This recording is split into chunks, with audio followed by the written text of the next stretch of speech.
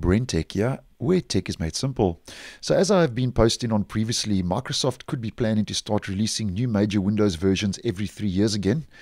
And um, they are also going to be releasing more frequent feature updates for Windows several times per year. Now, those more frequent feature updates several times per year, as many of you may know, are already happening and are already rolling out. And we have already received our first wave of new features for Windows 11 version 22H2, also known as the Moment 1 update, which rolled out uh, in October, started rolling out in October of this year. And a quick recap on that update was that it introduced um, the tabs to the File Explorer, which I think was a key highlight for that update uh, new suggested actions, and then a taskbar overflow menu for your ex- excess icons and apps on the taskbar, which can be accessed in an overflow menu. And that's just a quick recap of some of the features. There were a lot more than that. Now, um, the Moment 2 update we are expecting, as I had been posting on previously, to roll out early next year, and there are reports uh, suggesting that that could be rolling out in February or March of 2023 um, although not confirmed yet by Microsoft, but there is a strong possibility we will be getting Moment 2 or the second wave of new features early next year.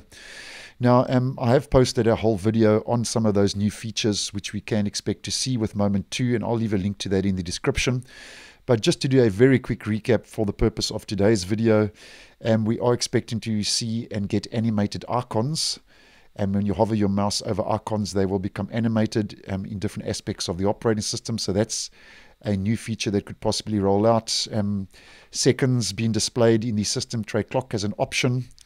Expanded widgets, where currently we get one widget board, and expanded widgets um, that will have two, a double widget board, so to speak, and will become a full screen widgets board, giving the option to expand and minimize that.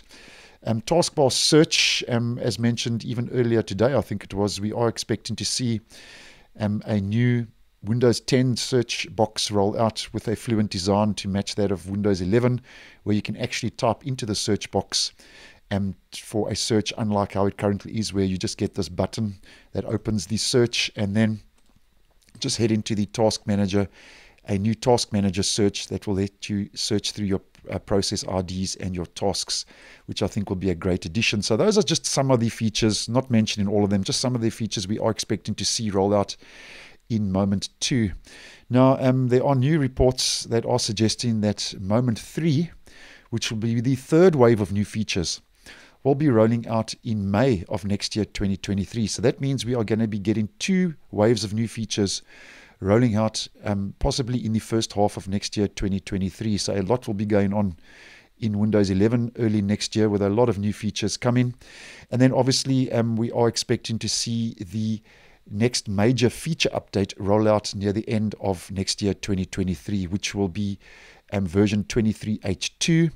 And then after that, in 2024, either version 24H2 or Windows 12, as I have been posting on.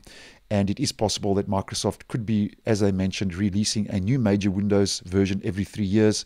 And there is a possibility that in 2024 we will get Windows 12. But as mentioned, that has never been confirmed by Microsoft, but there are reports that are suggesting that. So just letting you know, Moment 2 expected to arrive in February, March of next year, and Moment 3 possibly ex- expected to roll out in May. And the features rolling out uh, in the May t- uh, 2023 Moment 3 update um, have not been confirmed yet. Um, it's not known at this stage exactly what Microsoft will roll out, but there are a couple of, a whole lot of features being tested currently in the Insider program. And um, as mentioned, some of those will roll out in Moment 2, and I could expect then, and we could suggest that what we don't get in moment two will then overflow into moment three as the two feature updates are quite close together. So thanks for watching, and I will see you in the next one.